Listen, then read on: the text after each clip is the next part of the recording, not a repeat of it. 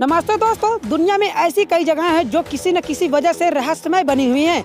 ऐसी एक जगह दक्षिण अमेरिका में एंडीज पर्वत और प्रशांत महासागर के बीच स्थित देश चिली में है। दरअसल यहाँ एक सुनसान आइलैंड है, जहाँ 900 से करीब रहस्यमय मूर्तियाँ हैं, जिनके बनने के बारे में अनुमान तो बहुत लगाए जाते हैं, लेकिन असल में इन्हें क्यों बनाया गया था, अभी तक एक रहस्य बना हुआ है। दोस्तों, इस आइलैंड का नाम है ईस्टर आइलैंड और यहाँ बनी रहस्यमय मूर्तियों को मोई के नाम से जाना जाता है। ये मूर्तियाँ लगभग सौ टन वजनी और 30 से 40 फीट लंबी हैं। और सबसे खास बात यह है कि ये देखने में लगभग एक ही जैसी लगती है। ऐसा लगता है जैसे सभी को एक ही साँचे में ढाला गया हो।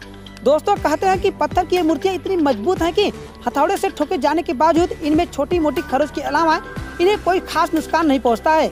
इन मूर्तियों को लेकर एक सवाल हमेशा बना हुआ है कि आखिर जब तक इस आइलैंड पर किसी इंसान के रहने के कोई सबूत नहीं मिले हैं तो ये मूर्तियाँ आखिर यहाँ आई कैसे? और वो भी एक दो नहीं, बल्कि सैकड़ों। कुछ लोगों का मानना है कि सैकड़ों साल पहले एलियंस इस आइलैंड पर आए थे और उन्होंने इस मूर्तियों का निर्माण किया था, लेकिन वो इन्हें बीच में ही छोड़कर चले गए थे। हालाँकि ये सब कई सुनी बातें हैं, जिसका कोई प्रमाण किसी के पास मौजूद नहीं है। दोस्तों, बताया जाता है कि इन मूर्तियों को रापा नुई कहे जाने वाले लोगों ने वर्ष 1250 से लेकर 1500 के बीच बनाया था, जो ईस्टर आइलैंड पर रहते थे।